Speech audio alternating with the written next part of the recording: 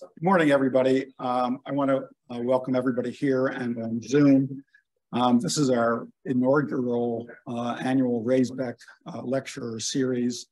Um, this has been supported by a very generous gift from um, uh, James and Sherry Raisbeck um, that's supporting this. So, yeah. Um, so I really want to welcome our, our inaugural speaker and, and lecturer, I want to welcome Dr. Uh, Drakos from the University of uh, Utah. Um, he's a professor there. He's head of the MCS service and also co-director of the transplant and heart failure service. Um, he's an international expert um, in the area of myocardial recovery, a very important part of what we do, and that's what he's going to speak about this morning. So I, I want to uh, welcome Stavros uh, and expect a great talk. Thank you. Welcome. Thank you, Dan, uh, for the introduction, and thank you, everybody, for this uh, wonderful invitation. Uh, it's great to be here. Uh, I'm so glad to uh, have so many friends and uh, colleagues, and it's actually my first time um, visiting UW, and um, I'm really excited. we had a great day yesterday, and I'm looking forward to my the rest of the day today. so, as Dan said, today we will talk uh, about myocardial recovery. And uh, these are my disclosures.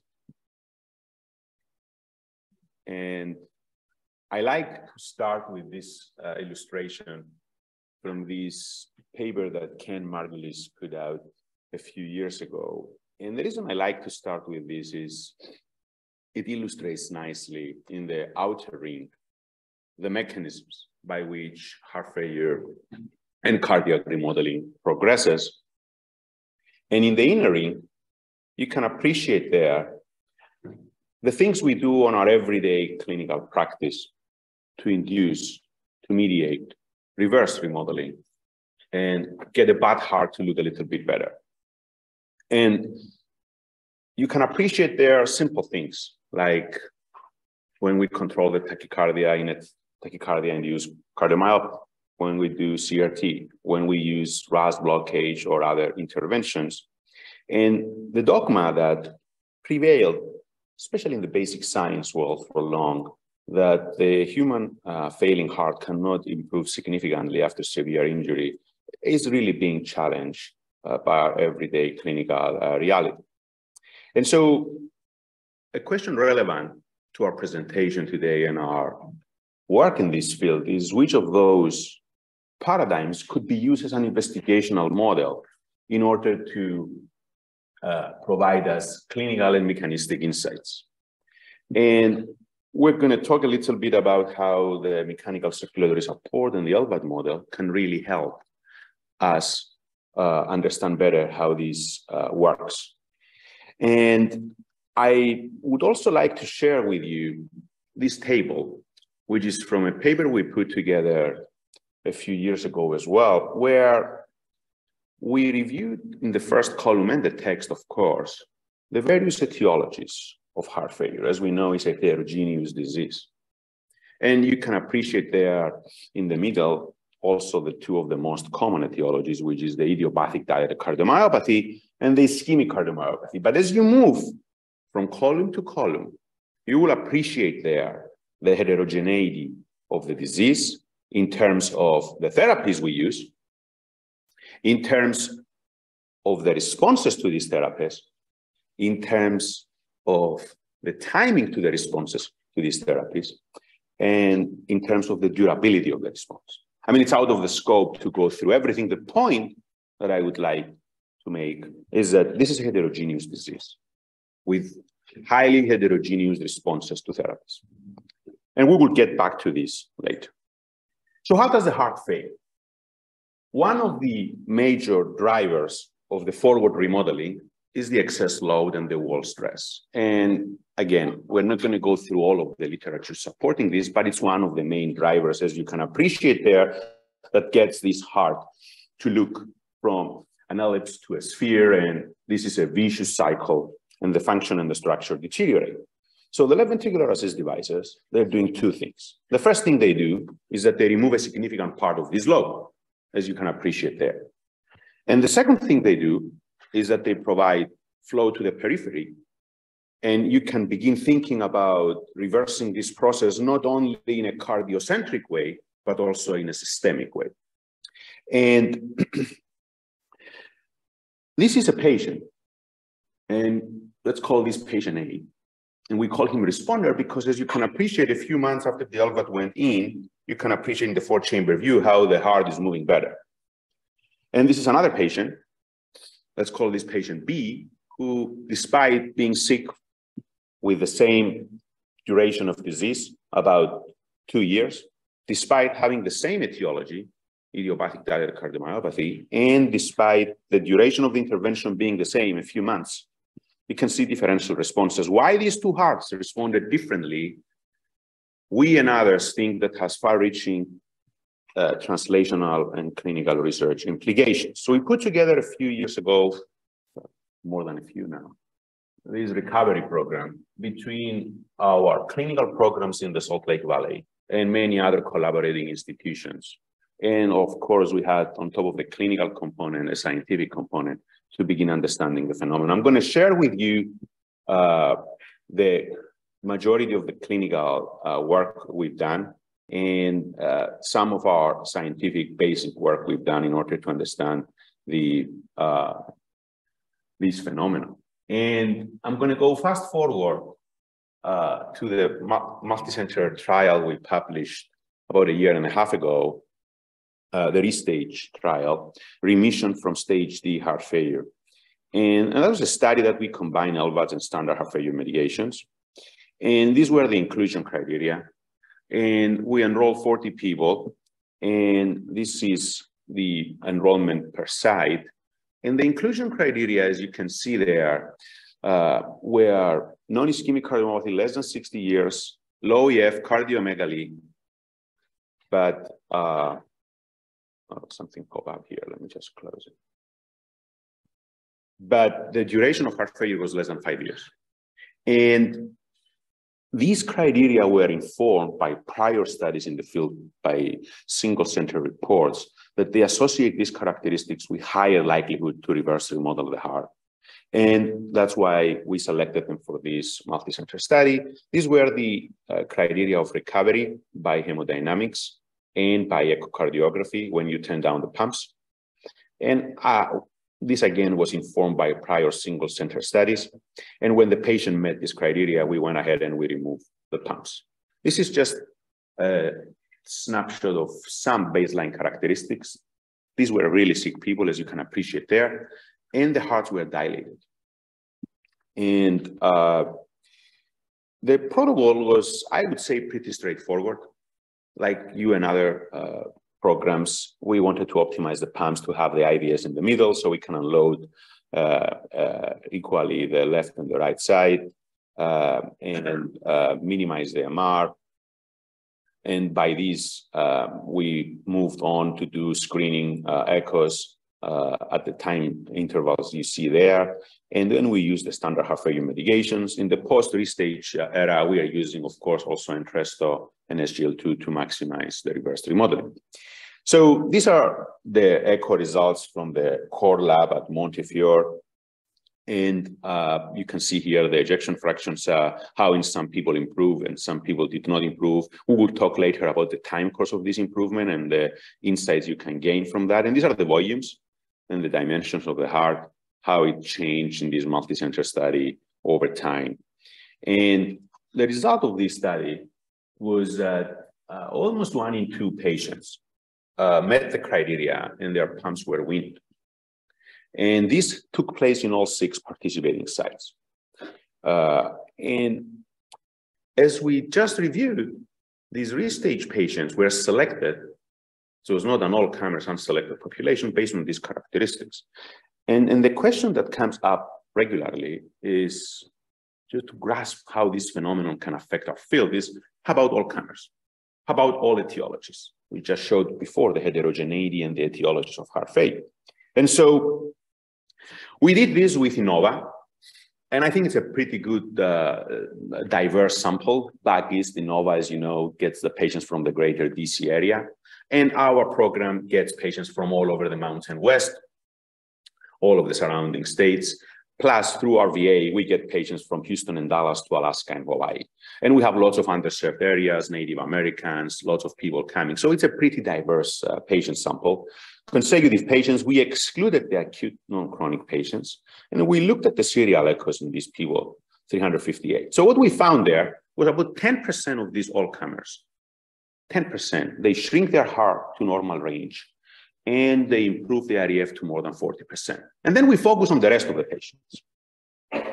And when we looked at the rest of the patients that they have not improved the REF to more than 40%, we found another 15% that they improved the EF by 10 absolute units, which as we know, in the CRT studies, the beta blocker studies, this is called super response.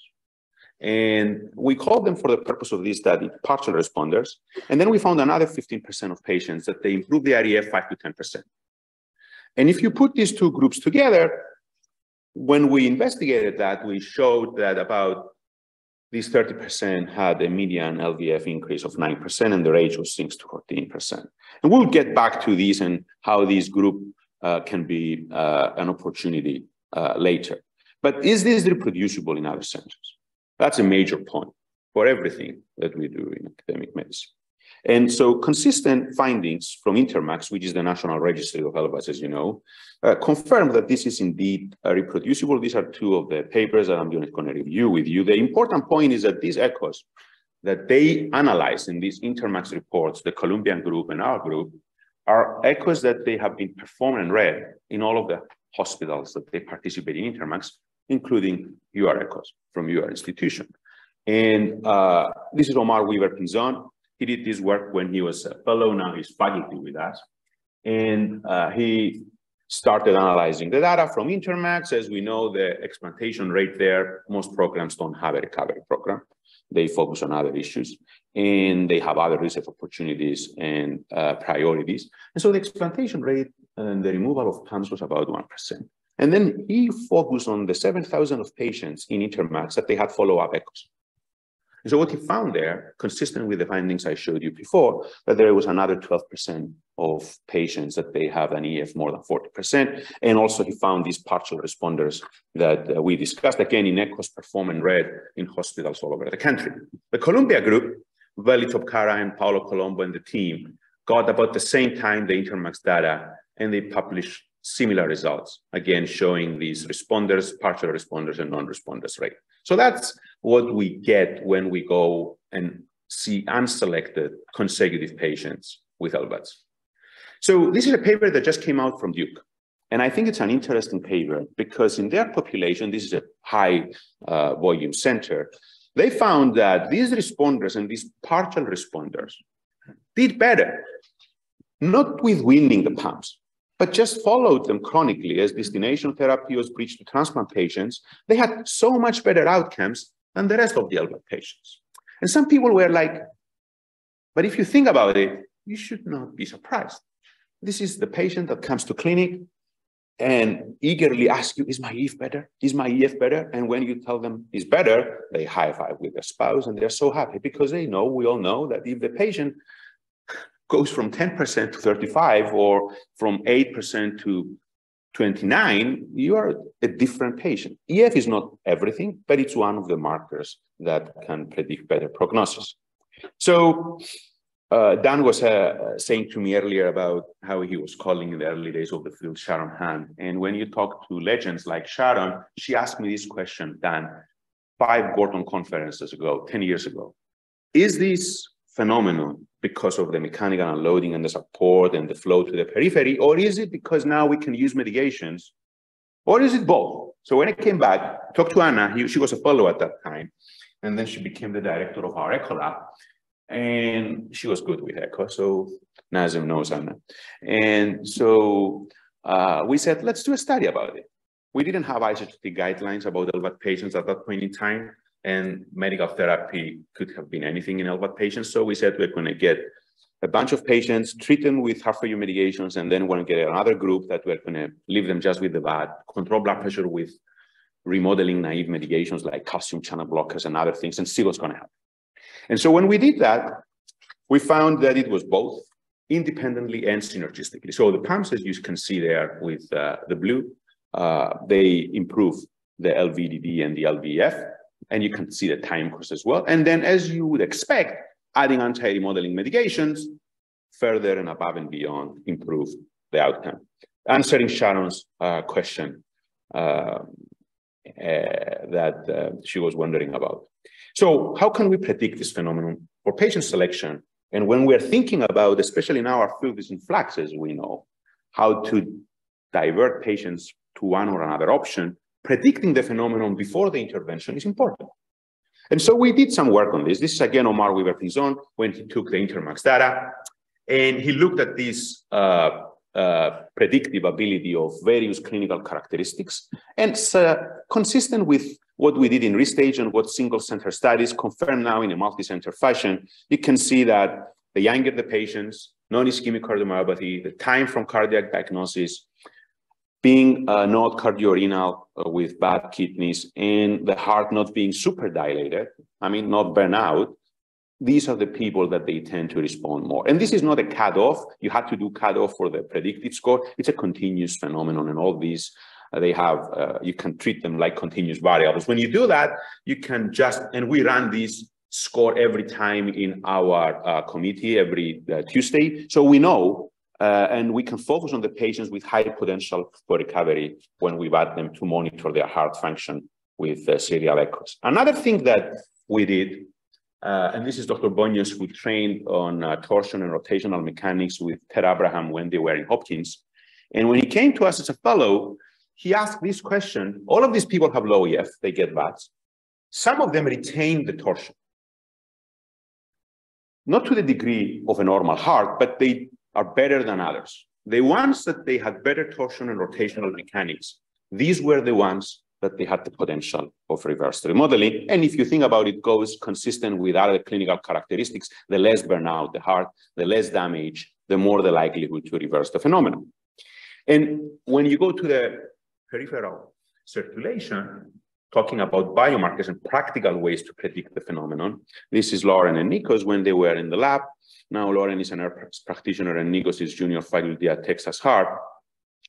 Uh, we found that the decreased inflammatory burden, and we started from the tissue, we measured the cytokines there, and then we guided our analysis in the serum, so we can make it more practical, so you don't need the tissue in order to predict. And what we found there was that uh, interferon gamma and TNF alpha were predictors of response, circulating predictors of response that can be used as biomarkers uh, before the intervention. So on the tissue level, an interesting finding was the T-tubule finding. And so what we did there, and this is Thomas, who is now back in Germany, and uh, Frank Sachse, one of my collaborators at CVRTI. And you may be familiar with the ryanodine receptors and uh, how this is important for the excitation contraction coupling, right? And you can appreciate there on the left the T-tubules uh, in the normal heart are very well coupled with the RYR, and that's how we get the contractility and the excitation contraction coupling. And then what we found in our patient samples, which was a novel finding, and that goes back to Mike Bristow's point that in the animal models, we cannot recapitulate the chronicity of heart failure. And that's one of the limitations we have in heart failure research, that we don't have really good animal models. Chronic, it's difficult. The humans fail over months and years. You cannot keep the animals for months and years there. And so this is a finding that we wouldn't appreciate in our animal models. And we found in humans these sheets of T-tubules that they were uncoupled with their ryanodine receptors. And when we ran this analysis in our population, we found that the ones that they retain the microstructure on the left side these were the ones that they were able to respond favorably. Again, going back to what we said, that this is a phenomenon that you can appreciate better in the patients that they still retain their recoverability and they are not burnout. And the associated editorial uh, was talking about this point of no return, which we all look for when we're talking to our patients, which are, and especially now that we can transplant people quickly, who are the hearts that we can give up on? Who are the hearts that we say they're tossed? done, but it's replaced it. Versus the hearts that they still have the potential to come back.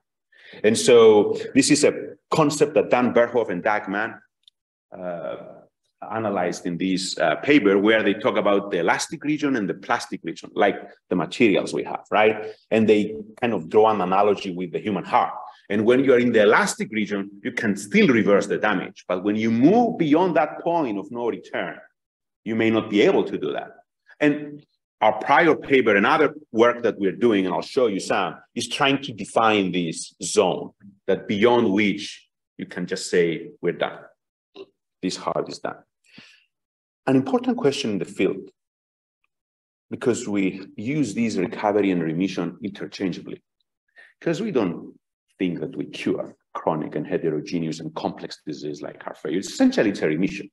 But when you go to talk about things, you're going to use the positive word. You're not going to use the negative word. We know that in the heart failure field, we did the mistake to cause to call our disease heart failure. Now we're trying to change it, and we cannot. When when it's out, it's out. and so here we didn't do the same mistake. We we are using the word recovery. We are not using the word remission, but it's the two op- uh, the two faces of the same coin essentially. And so in restage, the post-explant uh, survival, uh, free of uh, transplant or LVAD, you can see here the results. And these are consistent with all of the single center reports that they came. To put it in perspective and compare that to what the alternative could be. And what's the alternative? It's transplant. This is data from Harefield, where uh, my partner Emma Birks, who is now at the University of Kentucky, and our mentor, Sir Magdi Yacoub, a living legend of cardiovascular disease, who introduced us in this field, in Harefield. Uh, they compare here 40 people, they win the LVADs, with 52 people they transplant. And they follow them for up to eight years. And you can see the results. Uh, in their center, the alternative provides equal survival, which makes introduces the point that they've been discussing that for young people, that the durability of the graft is just 13 or 14 years. If you can postpone transplant for later, right, because of the complications of transplant, then you may be able to uh, give them a better long-term therapy. And so these results were repeated by the European uh, Registry of VADs and the Berlin group, the Texas Heart, and the research sites. And, and as I said, several other centers. But it's not all about survival. Patient-reported outcomes, quality of life, exercise capacity, that's important.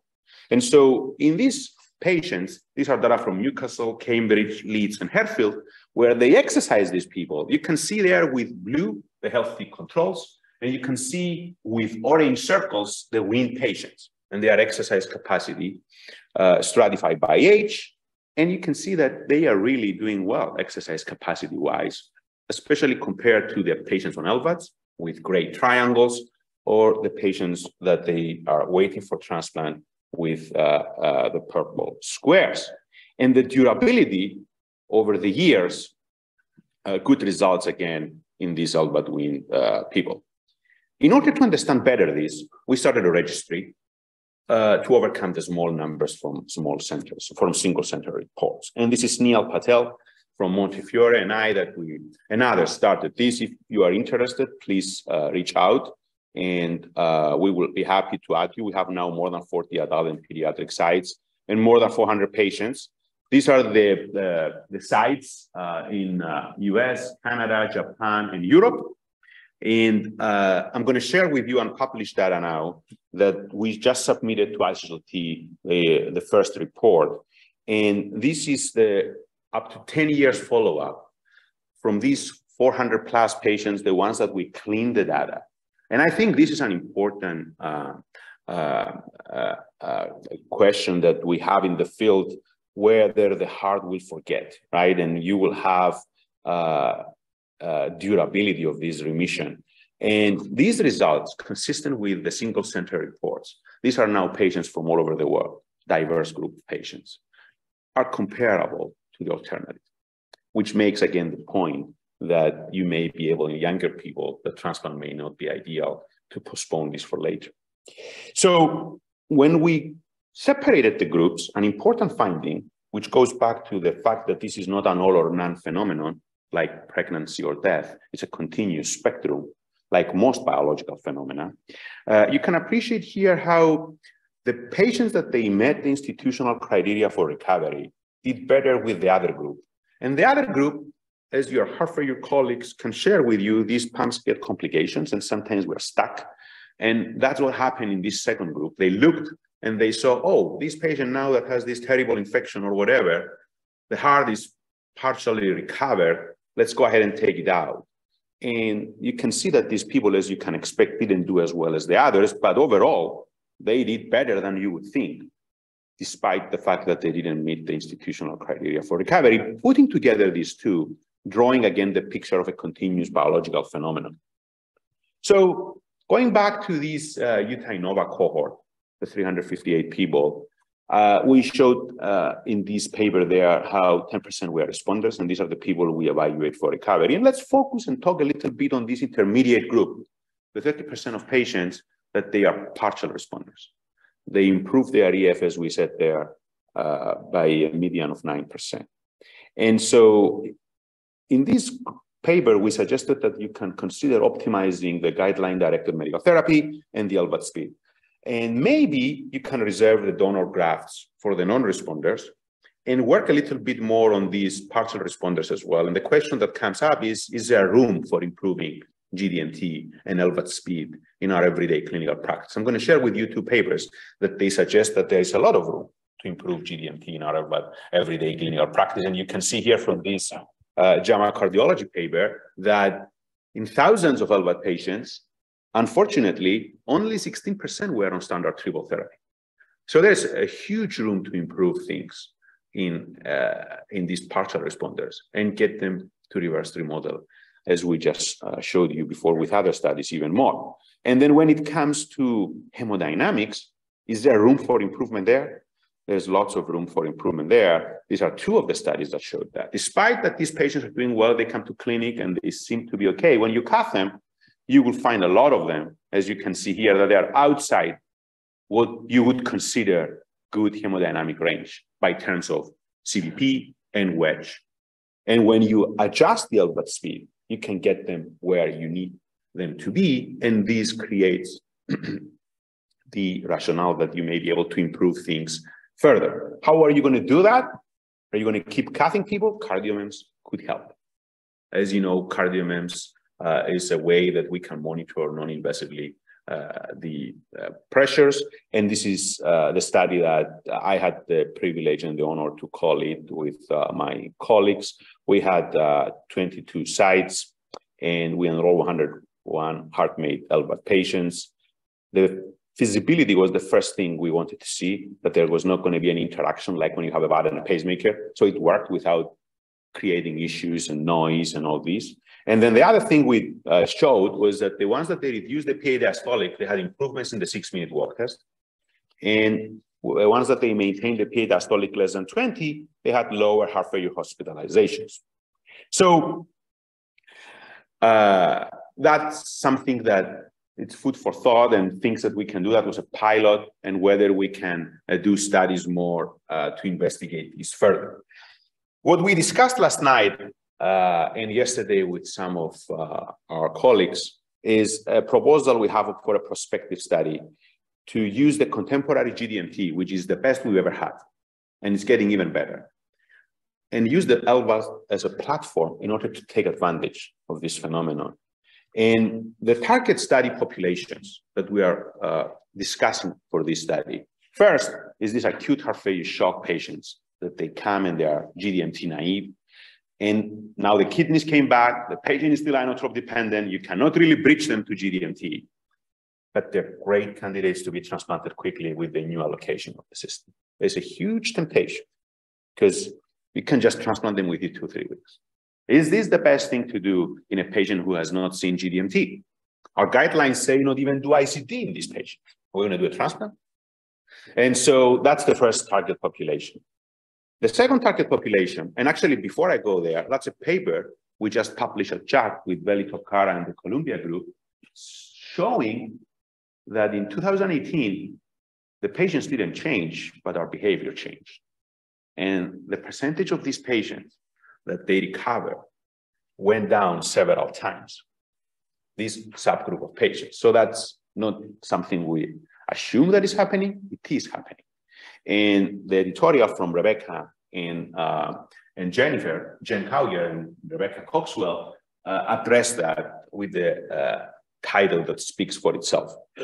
Uh, and so that's the first uh, patient population. The second patient population is the ones that they are walking wounded. They are on a touch of Entresto, on a touch of beta blocker for two, three weeks. They never tolerated more than that. And we deem them that they are intolerant of GDMT, suboptimal GDMT. They come in, we cuff them after a month or six weeks that we tried them. They meet all of the criteria for status two, status three, and we can transplant them quickly. Is this the right thing to do? So that's the equibos, and that's what we are proposing. And the third, and again, this is a continuum of populations, right? The third is the ones that we shared with you before, the restage and all these clinical characteristics that they predict response. And so what could be the goals and the impact of a study like this? Enhance the native heart function, get responders, get partial responders, rescue some hearts, and postpone the transplant, which especially for young people, you talk to pediatric cardiologists, uh, or if you talk to our colleagues that they graduate a lot of patients from their pediatric programs, they will tell you that the teenagers that they get transplanted or the kids, they just die young. And this applies also to our patients that we transplant when they're 20, 30, 40 years old. They will need more than one transplant. And in the meantime, they will get the complications from immunosuppression that you cannot uh, deal with. We were talking how we're trying to do better with the biology and the immunosuppression, but we're not there yet. So long story short, this is something that be a, can be especially attractive in young and middle-aged people. We can see whether the Duke data apply and you can get even more uh, improved LVAD outcomes in these partial responders and respond and make more of them to respond if we adjust uh, the LVAD speed and use better GDMT. And then it's going to improve the allocation of the precious gift of donation because you will be able, the heart that you will rescue from these patients to give to all these people that they are waiting, all of these congenitals. You, you have a congenital big program here. All of these other hypertrophics that they don't have a path because they don't meet this status two criteria. They just wait there forever. And, and some of them have bad outcomes. And so, and the last thing, of course, it's going to help us advance the science of recovery, which as we will see later, the benefit can be for the broader half-life field, not just for the advanced and develop new therapeutic targets, which is a segue to the second part, which is going to be a little bit abbreviated, some of our efforts to understand the biology driving these uh, findings that I just shared with you. And this is an invited paper at JHLT. This is a new feature they have. They have companion review articles, one focus on the clinical aspects and one focus on the biological. So they invited us to write with our collaborators from all over the country and the world these two papers. And this is the biological review. And you can appreciate there a summary. It's out of the scope to go through all of the details. But a few years earlier, we convened at the NHLBI, we had this working group where I had the honor uh, to co-lead with my colleagues that you see listed there. And the recommendations were published in the journals of the major societies that they are stakeholders in this. And what we described there is our vision for the field to advance these beyond the end stage and impact the greater, broader field of heart failure. So we get the tissue, as you know, when the VAD goes in, this is an unprecedented opportunity for cardiovascular medicine. And it's one of the reasons that oncology is so far ahead of us in precision medicine because they always had access to the precious culprit human tissue and they didn't rely only on animal models and in vitro studies. And they could couple those studies with their human tissue studies. So that's an unprecedented opportunity. And that's what we described in that working group recommendations. Then you can phenotype the patients. And as we said, this is a continuous phenomenon. It's not all or none. And then you know when you take the heart, a transplant, or when you recover and you biopsy, you know what changed. But these cannot be always causal. It just can be human association. So the approach we follow in our translational program is to do the first step studies on this human tissue to screen for these changes and then move to the second step to prove the causality which you need studies now in small animals and in vitro to see whether these changes on the human tissue are causal or are just epiphenomena. And when you find that, the idea is to bring it back as a therapeutic target. I'm going to share with you two, three examples. We cannot go through all of the details, but I'm going to share with you two, three examples, published and unpublished. This is where the patients and the samples come from, all over the Mountain West and beyond, and collaborators from uh, the rest uh, uh, of the country. And non-failing donor hearts, we have 42 of those. We collect about two or three per year. It's very hard to find unused healthy hearts that we get because of infections or other reasons. So the first time we did this screening in responders and non-responders and the groups in between, we came up with this pathway analysis. And as you can see there, and as we would expect, there's not only one thing that is reversing and changing, and you, we group the pathways there. And then we went back to the clinical to see whether we can get some clues from the time course of this phenomenon on where to focus. So this is a paper that Omar have published again when he was doing his research fellowship with us. And when we take this responder group and we plot the time course of the response, and we were talking with April about this yesterday, this happens relatively quickly. Within one to two months, you will see the signals. And then within three to six months, you will get a lot of this response. And so that's why, based on these and some other findings we had in the lab, we started from the metabolism where changes can happen quickly. And so again, I'm not going to go through all of the details, but the first piece of work that uh, we put out following this strategy was this cell metabolism paper where we focus on the pyruvate lactate uh, metabolism. We did the step one in the heart tissue and the step two in the lab. Uh, it's, I think, uh, out of the scope to go through all of the details. Uh, there's a lot of findings there in vitro and in vivo in small animals in order to prove this step two, that this can be causal. The MCT4 came up, the lactate exporter uh, inhibitor as a potential therapeutic target. And we published that and we are working now on how to develop this in large animals and bring it back to humans as a potential therapy. One of the things that we're doing, which is novel, is that the metabolism, as you know, is complex and uh, we're doing flags. We're giving label substrates in humans and in animals in order to know when we take the tissue whether it went through one or the other uh, pathway of uh, cardiac metabolism, which is the gold standard. And it has not been done in uh, the heart. It has been done only in cancer. And uh, we are very hopeful that we will learn a lot. Another thing that it came out of these studies that we are screening in humans was uh, the calcium homeostasis. And again, this is just plotting the whole process that how you phenotype, how we get the responders and the non-responders. And then we did RNA sequencing and phosphoproteomic. We merged them. And the thing that came out, one of them was this calcium homeostasis and the VDAC2, the voltage dependent anion channel 2, came out as something that was differentially expressed at the protein and gene expression level between responders and non-responders. And so we followed and we did the step two studies here that is summarized in this Nature Communication paper that just came out. These are published, both of these. So I'm not going to go into details. You can find the details published. I'm going to share with you a little bit on our work on fibrosis based on what we discussed with April yesterday. And uh, you may have seen our paper that just came out last week. And we had now even more people and in this paper in circulation is the step one of the studies, essentially, which we combine the clinical data, the echocardiographic data, and the response we get there with the proteomic and with the transcriptomic. And the two major pathways that came out was the cell cycle changes and the extracellular matrix changes.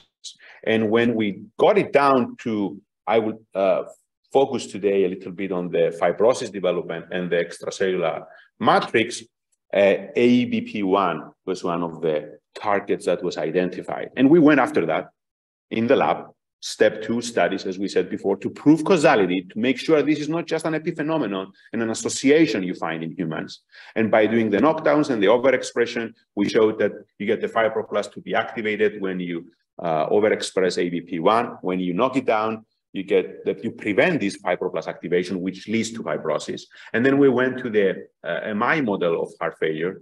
And when we knocked it down, we prevented the uh, progression of fibrosis and we improved the heart function. And then when we went to a systemic model of fibrosis and we uh, administered angiotensin 2 and phenylephrine, we saw a reduction of fibrosis and hypertrophy. Again, starting from the human, going to what changes on the tissue, and then going in the lab, seeing whether this is causal and mechanistic, trying to bring it back now as a therapeutic target. So these are three examples, two published and one unpublished, following this way of starting from the human, from the bedside, getting to the bench, and trying now with our collaborators with uh, industry, the pharma, to bring it back as a therapeutic target.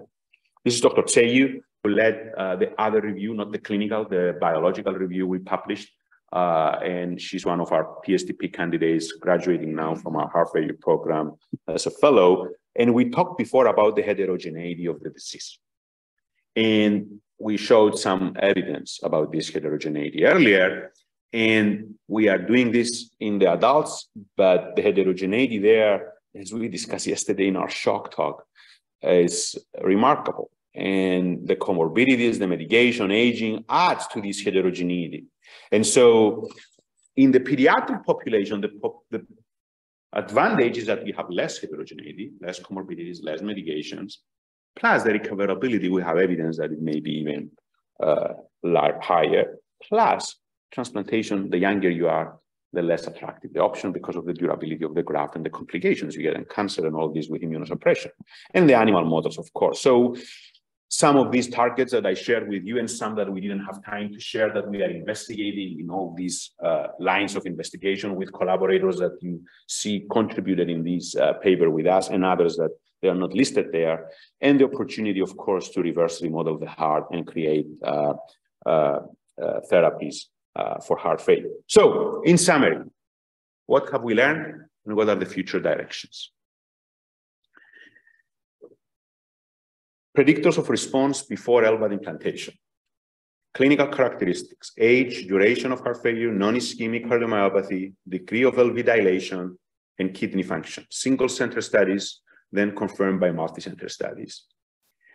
Echo-rotational mechanics and torsion can also help you predict response before the intervention. Circulating cytokines like TNF-alpha and interferon gamma and the T-tubule microstructure. Guided by these predictors, you can select your population and recover the patient's more than 50% likelihood, uh, guided by this. If you go to the all-comers, non-selected, consecutive patients, just to get a grasp of what the impact to the whole field could be, this is not an ordinary phenomenon. This is not like pregnancy and death. This is a continuous phenomenon like most biological phenomena, and you would expect 10% responders, 30% non-responders, the way we define them, and the opportunity there to improve them even further with hemodynamic uh, speed adjustment and with uh, a GDMT. And the long-term sustainability, as you saw, is excellent, similar to the alternative and the excellent exercise capacity that uh, we share with you. This is reproducible in many centers nationally and internationally and registries. And the biology, which is important to have biological explanations for what you see and drives, it's being intensively investigated and creates an opportunity to develop targets and therapies that they can just delete everything and we don't need VADs, we don't need transplants. We improve the GDMT so much that we don't allow these people to go to advanced therapies. That's the hope, that's the vision. To use this model and start from a well-tracked population in order to advance the whole field. These are the two reviews. We didn't have time to review everything, but this is uh, suggestions for more on the clinical aspects of this phenomenon. And in the clinical companion review, we included Manreet Kanwar from Allegheny, uh, led the effort there. And you can see people from all over the world, pediatric and adult programs, practical ways to start recovery programs, simple how you monitor, how you practical tables and figures, and the biological aspects in the companion review. Every year we do our recovery symposium, and this year Cricket Salmon would be our keynote. Uh, we used to do it, as Nazem knows, uh, right before the MLK weekend because the main reason people come is to go to the mountains and play. And so we changed it to COVID in March. Then people left March. Now it's going to happen in person, and it's going to be March this year. We are experimenting to see. It's going to be a regular weekend, not a long weekend. We always do it Thursday, Friday, and then people we unleash people to the mountains. But um, people have participated. Uh, uh, from your center, Claudius was there, gave a talk uh, a while ago, and uh, if you have trainees or others that they would like to present, uh, we don't publish the abstracts on purpose, so they can still submit them to AHA and ACC and other bigger conferences. We just discuss science, and uh, this is our team. We do uh, one funny picture per year. We stop for COVID. We are overdue for another one. and we do also a serious one per year. And um, uh, of course, uh, it takes a village. And I would like to thank all of the collaborators uh, in our institution and many other collaborators in other institutions uh, for the work. And of course, our uh, funding, the sources of funding that you can see listed there. And with this, I hope I left time, oh yeah, good, for discussion. And I would like to thank you for your attention and again for this wonderful invitation to be here with you today.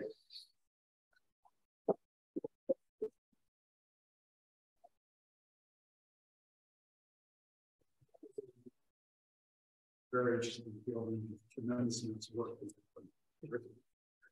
Um, we have time for a lot of questions. Um, please raise your hand and we'll, we'll get you a microphone so that everybody can hear uh, your questions. Uh, Rob?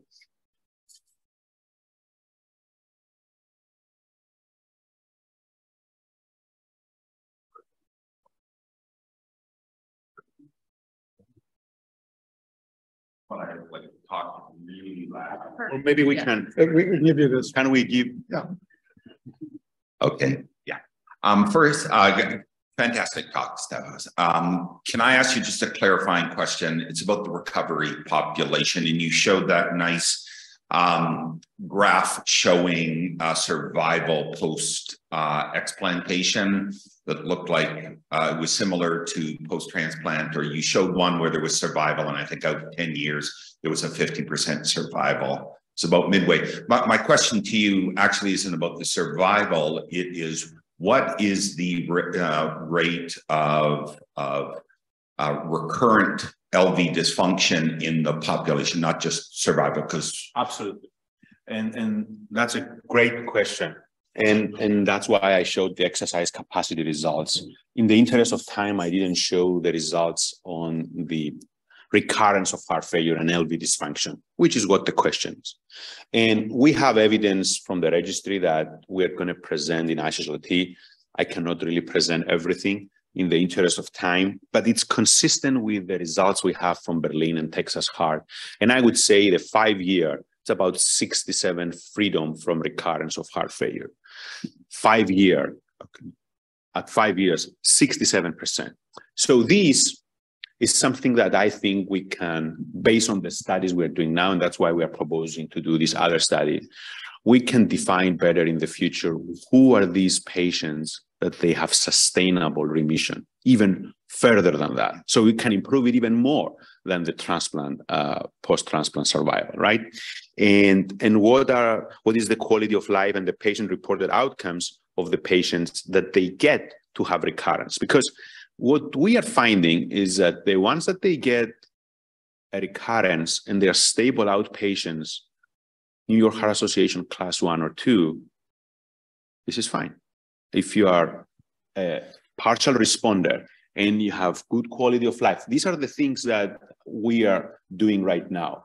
But that's a great question, and that's why we did this registry, so we can get multi-center data and so we can have long-term outcomes and go, get to this question, not just for the LV dysfunction, but also quality of life.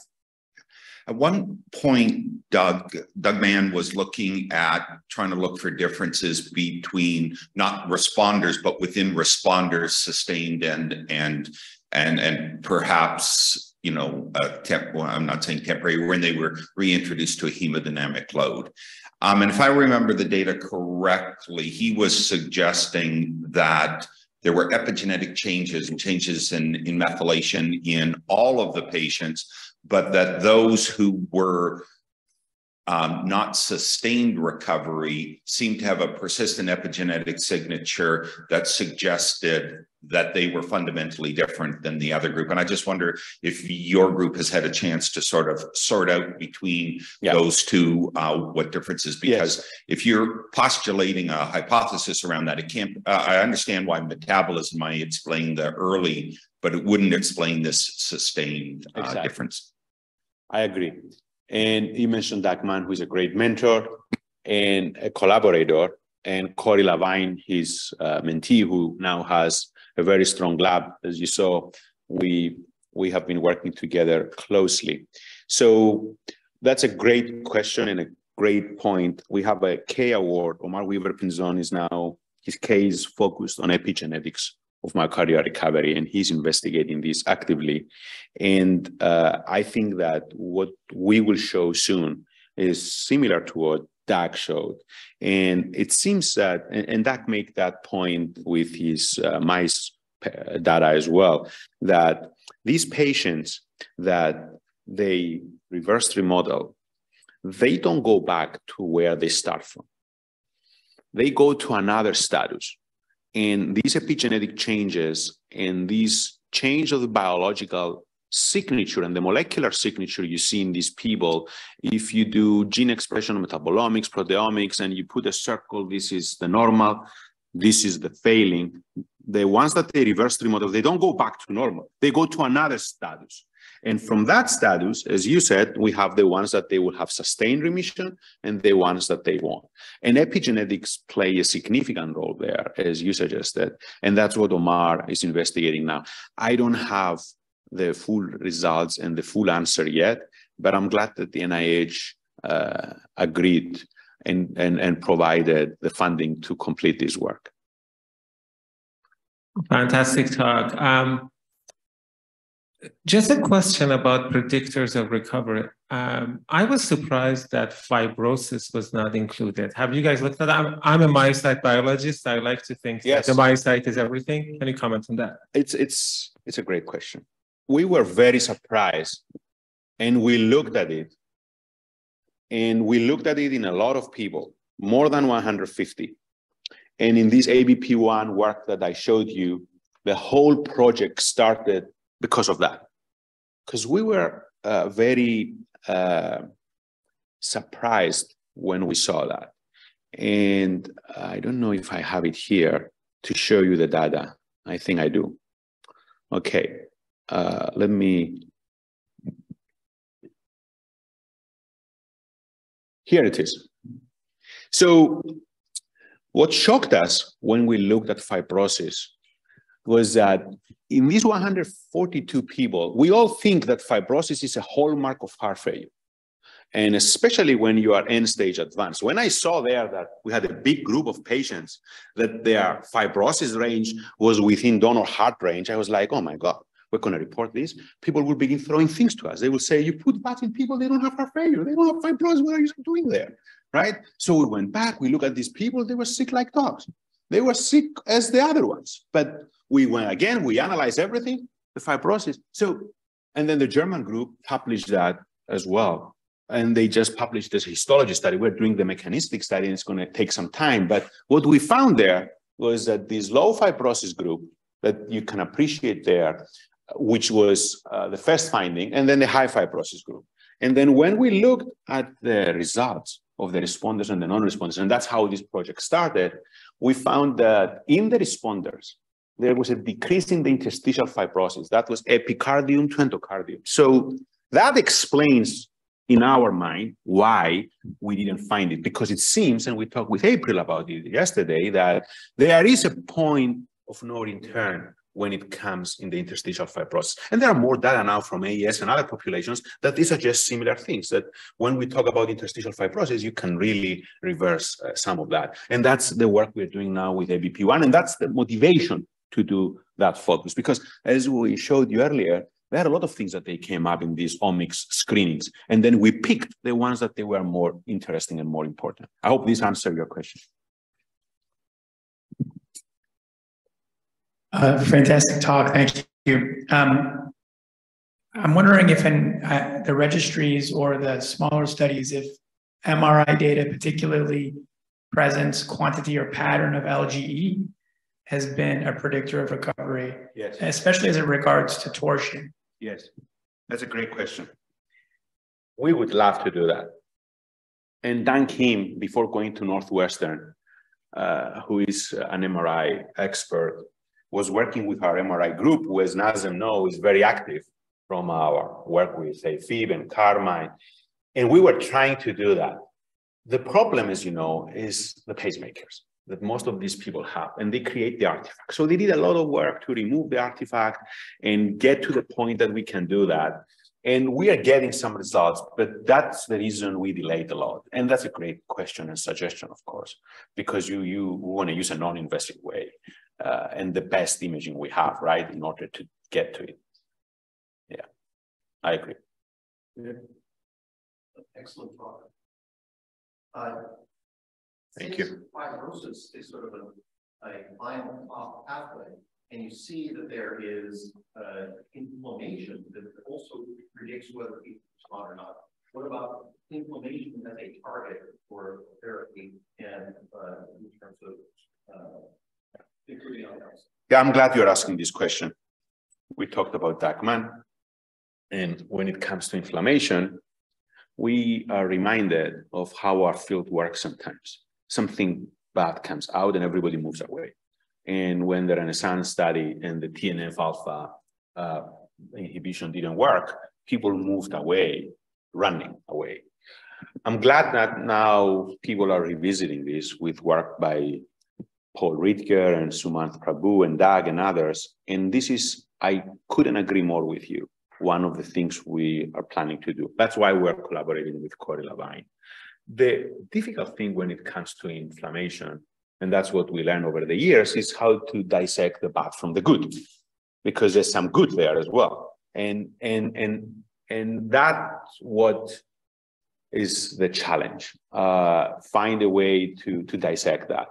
Uh, we are doing some work that may be helpful to help us intervene and, and dissect that, but uh, it's not ready for prime time. But the direction that you suggested makes so much sense. I couldn't agree more. So one comment, don't be afraid of people throwing stuff at you. Those are the people who change healthcare. The, the people who don't throw are the ones that don't change healthcare. And you come from a heart program that's always pushed the envelope and often things that were thought to be wrong ended up being right and things that you thought would be right ended up being wrong. So I think that's an important message for everybody. Uh, being just a dumb knuckle dragger, a lot of the stuff with LVADs, I wonder is what are the predictors of the RV and what the RV is doing on the ability to explant yeah. the devices? Because even the, the ones you showed, the, the one who responded, the RV looked pretty good, and the one that didn't respond, the RV looked pretty yep. bad. So are there plans or therapies or thoughts about how to deal yes. with the RV? So that's a great question, uh, Bill. Thank you for bringing it up.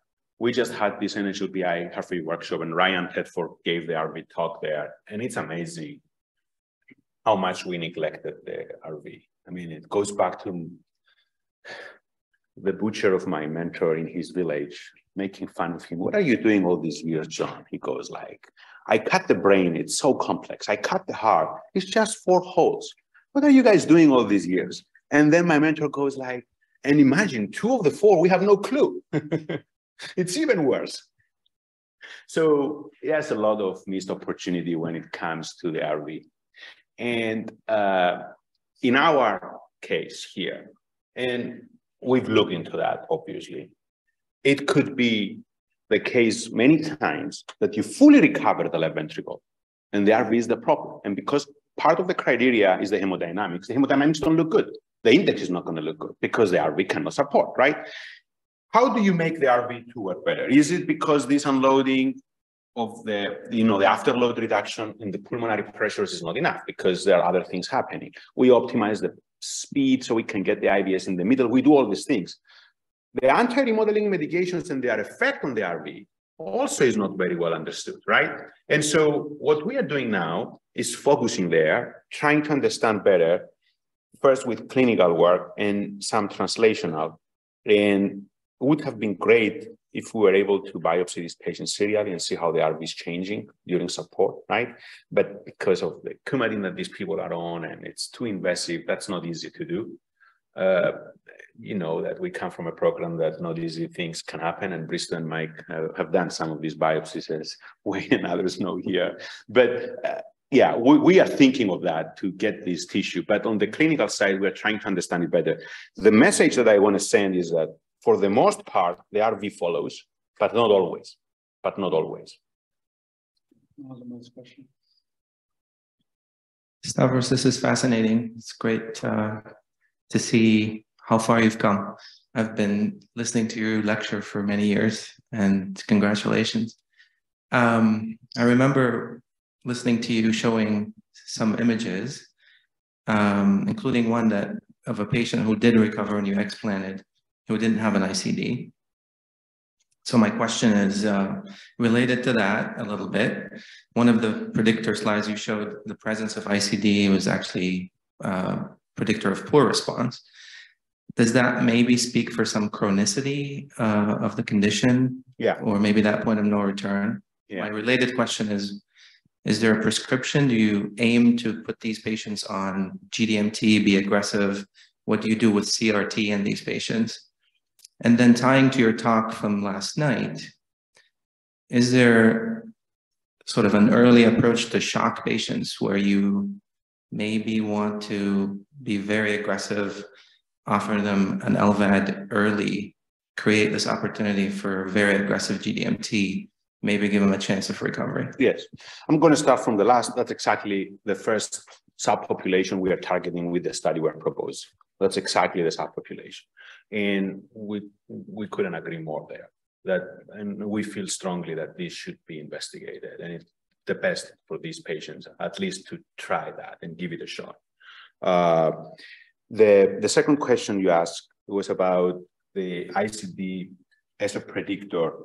And in that analysis, the absence of the ICD, the first interpretation we had, because the absence, the presence it was a surrogate, for us, it was a surrogate of early disease. And that's why they didn't have an ICD because people were waiting. That's what we said before, right? The, the guidelines tell you don't put uh, in recent onset people uh, cardiomyopathy ICD unless you try GDMT. And so they recover them, they recover with the VADs. And that's why I think it came up in this study. So uh, the third, I think, Nazem, was what do we do after we explant and whether we actually, what we do with the CRT, right? during support. Nobody knows. I don't know what you guys do here. You keep it on or you turn it off. It's variable. And you've seen the crossover study from the University of Chicago that showed that there is some benefit on turning it off, actually. But uh, the, the results are conflicting and we need more evidence there. Another issue that is related to the EP is what are you going to do in patients that you recovered? They came with shock, they didn't have an ICD. Now they recover. But are you going to leave them without an ICD now? They don't meet the criteria because the EF is not where it should be to get reimbursed. But that's another thing that we are planning to address in the registry because it's an open question. This is not any patient. This is a patient that went all the way to the, the door, right? And came back. And so, like Lazarus, so do you leave them without an ICD, all this investment that the program did and the patient and the family and all this? And, and that's also an unanswered question that we're hoping to answer. And the responses we get from centers is variable. Like some people just put it in. So if the patient has heart failure recurrence, as Rob said, you at least have the ICD there to protect them or whatever. And then the CRT, it's a very, uh, again, going back, almost embarrassing that we don't know what to do, in our patients with the CRT. That was wonderful. Thank you very much. Thank you.